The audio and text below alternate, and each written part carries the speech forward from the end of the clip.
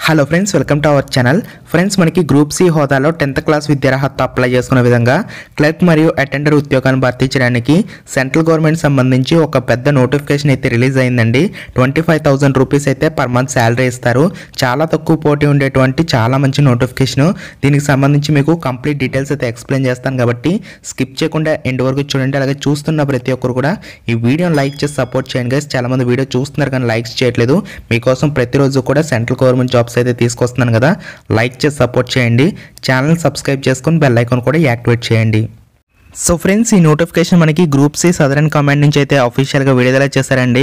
All Indian citizens ఏ రాష్ట్రానికి చెందినటువంటి అభ్యర్థులన్నా సరే ఈ నోటిఫికేషన్ సంబంధించి మీరు అప్లికేషన్స్ అయితే సబ్మిట్ చేసుకోవచ్చు. టోటల్గా మనకి ఫిఫ్టీ ఎయిట్ వేకెన్సీస్ అనేవి ఈ నోటిఫికేషన్ ద్వారా భర్తీ చేస్తున్నారు.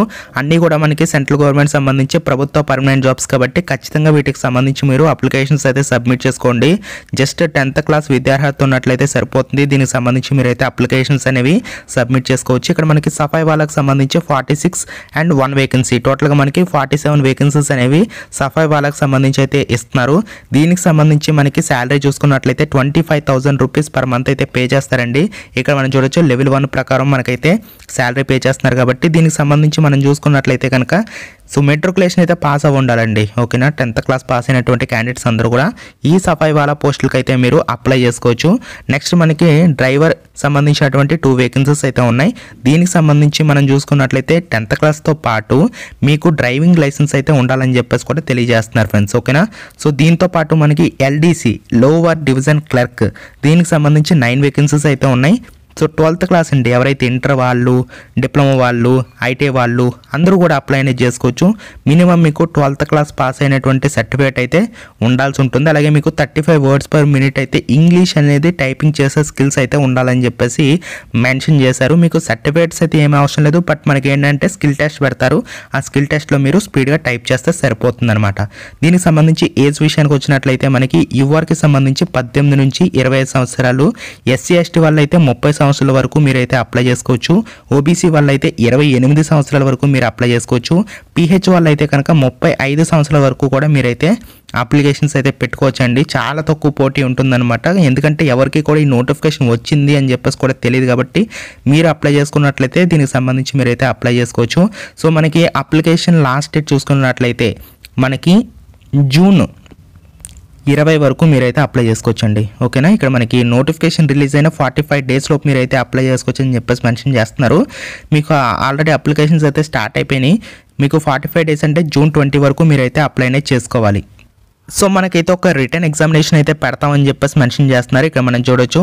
ఆ యొక్క ఎగ్జామ్ కూడా మనకి ప్యాటర్న్ ఏ విధంగా ఉంటుందో మనకి మెన్షన్ చేశారనమాట సో ఇక్కడ మనకి ఏంటంటే కనుక సో ఎల్డీసీకి సంబంధించి మనకి ట్వెల్త్ క్లాస్ విద్యార్హత అలాగే సఫాయి వాళ్ళకి సంబంధించి టెన్త్ క్లాస్ అంటే టెన్త్ క్లాస్ బేస్ మీద మనకైతే ఎగ్జామ్ అయితే పెడతామని చెప్పేసి మెన్షన్ చేస్తాను అంటే స్టాండర్డ్ అనేది ఆ విధంగా ఉంటుందన్నమాట. అంటే కొంచెం ఈజీగా ఉంటుంది.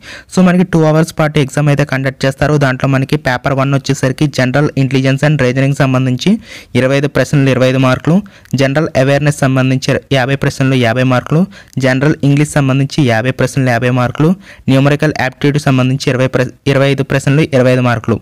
సో ఈ విధంగా టోటల్గా మనకి టూ అవర్స్ పాటు మనకైతే ఎగ్జామ్ అనేది పెడతామని చెప్పేసి మెన్షన్ చేస్తున్నారు. ఇక్కడ మనం చూడొచ్చు place and date of examination దగ్గర మనకి ఈ యొక్క ప్లేస్ అండ్ డేట్ అనేది అఫీషియల్ వెబ్సైట్లో త్వరలోనే నేను మీకు పోస్ట్ చేస్తానని చెప్పేసి మనకి వీళ్ళైతే చెప్తున్నారు. నేను కింద డిస్క్రిప్షన్లో అఫీషియల్ సైట్ లింక్ ఇస్తానండి. అక్కడ నుంచి అయితే మీరు ఎప్పటికప్పుడు రెగ్యులర్గా మీరైతే చూస్తూ ఉండండి. ఇక్కడ మనకి రిటర్న్ టెస్ట్ ద్వారా మనకి ఈ యొక్క ఎగ్జామ్ పెట్టి ఎంపిక చేస్తామని చెప్పేసి మెన్షన్ చేస్తున్నారు. సో దీనికి సంబంధించి ఏ విధంగా అప్లై చేసుకోవాలో మీకు కంప్లీట్గా అయితే చెప్తాను. ఫస్ట్ ఆఫ్ ఆల్ కింద డిస్క్రిప్షన్లో మీకు లింక్ ఇచ్చాను కదా. లింక్ ఓపెన్ చేస్తే మీకు ఈ విధంగా అప్లికేషన్ ఫామ్ అయితే ఓపెన్ అవుతుందండి. సో ఈ అప్లికేషన్ ఫామ్ మీద మీరు మొత్తం డీటెయిల్స్ అన్ని కూడా ఫిల్ చేయాలి. ఇక్కడ మీ యొక్క ఫోటో అనేది అంటించాల్సి ఉంటుంది. ఇక్కడ మీరు చూడొచ్చు application for the post of అని ఉంది కదా. ఇక్కడ మీరు సఫాయి వాళ్ళకి అప్లై చేస్తే సఫాయి వాళ్ళ అని చెప్పేసి డ్రైవర్కి అప్లై చేస్తే డ్రైవర్ అని చెప్పేసి ఎల్డీసీకి అప్లై చేస్తే ఎల్డీసీ అని చెప్పేసి మీరైతే మెన్షన్ చేయాల్సి ఉంటుంది. సో ఇవన్నీ కూడా మనం బ్లాక్ లెటర్స్ లెటర్స్లో అయితే రాయాలి. అంటే క్యాపిటల్ లెటర్స్లో అయితే రాయాల్సి ఉంటుంది. ఫుల్ నేమ్ కావచ్చు లేకపోతే ఫాదర్స్ నేమ్ లేదా హస్బెండ్స్ నేమ్ కావచ్చు డేట్ ఆఫ్ బర్త్ కావచ్చు ఇవన్నీ కూడా మీరైతే నీట్గా మొత్తం కూడా ఫిల్ చేయాల్సి ఉంటుంది. ఫిల్ చేసిన తర్వాత కింద కూడా మీరైతే సైన్ అయితే చేయాల్సి ఉంటుంది అంతేకాకుండా ఫ్రెండ్స్ మీరు పోస్టల్ ఆర్డర్ అయితే తీయాల్సి ఉంటుంది. వంద రూపాయలకు సంబంధించిన పోస్టల్ ఆర్డర్ అయితే తీయాలి. ఆ పోస్టల్ ఆర్డర్ తీసిన తర్వాత మీకు ఇక్కడైతే ఒక నెంబర్ అయితే రాయాల్సి ఉంటుంది. నేను మీకు చూపిస్తాను పోస్టల్ ఆర్డర్ అనేది ఏ విధంగా తీయాలి ఏంటని చెప్పి. చూడండి ఫ్రెండ్స్ ఇక్కడ మనకి హెచ్ పాయింట్లు అయితే మెన్షన్ చేశారు. మనం పోస్ట్ లాటర్ అనేది అంటే పోస్ట్ ఆఫీస్ వెళ్ళి పోస్ట్ లాటర్ అని చెప్పేస్తే మనకి హండ్రెడ్ రూపీస్ తీసుకొని మనకి అయితే ఒక స్లిప్ అయితే ఇవ్వడం జరుగుతుంది. ఆ పోస్ట్ ఆర్డర్ అనేది ఎవరి పేరు మీద తీయాలంటే in favour of commandant command hospital Pune అని చెప్పేసి మీరైతే తీయాల్సి ఉంటుంది. అలాగే టూ ఫోటో కాపీస్ అనేవి మన దగ్గర అయితే ఉండాలని చెప్పేసి మెన్షన్ చేస్తున్నారు. ఒకటి వచ్చేసి మనం ఆ యొక్క ఏదైతే అప్లికేషన్ ఫామ్ ఉందో ఆ అప్లికేషన్ ఫామ్లో అయితే మనం అంటించాల్సి ఉంటుందని చెప్పేసి మెన్షన్ చేస్తున్నారు. దీంతో పాటు ఈ యొక్క పోస్టల్ ఆర్డర్కి సంబంధించి మీకు అది వస్తుంది కదా నెంబరు. ఆ నెంబర్ కూడా మీరైతే అక్కడ మెన్షన్ చేయాల్సి ఉంటుందని చెప్పేసి మెన్షన్ చేస్తున్నారు ఫ్రెండ్స్. సో దీంతో పాటు మనకి copies of all educational certificates మీ దగ్గర ఉన్నటువంటి ఎడ్యుకేషన్ సర్టిఫికేట్స్ ఉంటాయి కదా ఆ ఎడ్యుకేషన్ సర్టిఫికేట్స్ అన్ని కూడా జిరాక్స్ కాపీస్ అనేవి మీరు పెట్టాల్సి ఉంటుంది. అలాగే క్యాస్ట్ సర్టిఫికేట్ ఉన్నట్లయితే క్యాస్ట్ సర్టిఫికేట్ పీహెచ్ సర్టిఫికేట్ ఉన్నట్లయితే పీహెచ్ సర్టిఫికేట్ బర్త్ సర్టిఫికేట్ ఉన్నట్లయితే బర్త్ సర్టిఫికేట్. మీ దగ్గర ఉన్నటువంటి మొత్తం కాపీస్ అన్ని కూడా మీరు జిరాక్స్ కాపీస్ అనేవి పెట్టాల్సి ఉంటుందని చెప్పేసి మెన్షన్ చేస్తున్నారు ఎన్వలప్ కాపీ ఉంటుంది కదా ఎన్వలప్ కవర్ ఎన్వలప్ కవర్ మీద మీరు ఏమైనా రాయాలంటే కనుక application for the post of అని రాసి మీరు ఏ పోస్ట్కి అప్లై చేస్తున్నారు? ఎల్డీసీకా లేకపోతే సఫాయి వాళ్ళకా అని చెప్పేసి మీరు టాప్లో అయితే రాయాల్సి ఉంటుందని చెప్పేసి మెన్షన్ చేస్తున్నారు. ఓన్లీ క్యాపిటల్ లెటర్స్లో మాత్రం మీరైతే రాయాల్సి ఉంటుందని చెప్పేసి కూడా తెలియజేస్తున్నారు ఫ్రెండ్స్ అంతేకాకుండా envelope cover left side top left side చూసుకున్నట్లయితే మనకి ఇక్కడ ఒక చిన్న మ్యాటర్ అయితే ఇచ్చారు. అదేంటంటే కనుక ఇక్కడ చూడండి.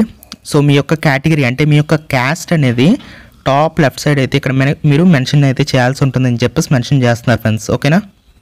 సో గాయస్ ఈ అప్లికేషన్ అంతా కూడా మీరు ఏంటంటే కనుక ఇంగ్లీష్లో కానీ హిందీలో కానీ మీరైతే ఫిల్ చేయొచ్చు అని చెప్పేసి మెన్షన్ చేస్తున్నారు.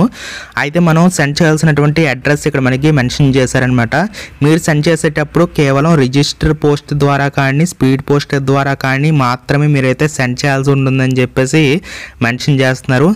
సెండ్ చేయవలసినటువంటి అడ్రస్ డీటెయిల్స్ కూడా మనకైతే మెన్షన్ చేశారండి. ఇక్కడ మీరు చూడొచ్చు presiding officer BOO V HQ Southern Command so command hospital Pune అని చెప్పేసి మనకైతే ఒక అడ్రస్ ఇచ్చారు.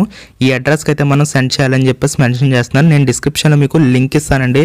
ఆ లింక్లో మీకు ఈ యొక్క పీడిఎఫ్ అయితే అవైలబుల్గా ఉంటుంది. సో ఈ పీడిఎఫ్ అంతా కూడా మీరు నీట్గా ఫిల్ చేసి ఇక్కడ కనిపిస్తున్నటువంటి అడ్రస్కి అయితే మీరు పంపించాల్సి ఉంటుందని చెప్పేసి మెన్షన్ చేస్తున్నారు. సో మనకి సెలక్షన్ కూడా మెరిట్ ఆధారంగానే అంటే మనకి రిటర్న్ ఎగ్జామ్లో వచ్చినటువంటి మెరిట్ ఆధారంగానే మనకి సెలక్షన్ ప్రాసెస్ అయితే ఉంటుందని చెప్పేసి కూడా మనకి క్లియర్గా తెలియజేస్తున్నారు ఫ్రెండ్స్ అలాగే మనకి డ్రైవర్కి సంబంధించినటువంటి పోస్టులు ఏవైతే ఉంటాయో వాటికి సంబంధించి మీకు స్కిల్ టెస్ట్ అయితే ఉంటుందన్నమాట. అంటే మీరు ఏ విధంగా డ్రైవింగ్ చేస్తున్నారో వాళ్ళైతే చెక్ చేస్తారు.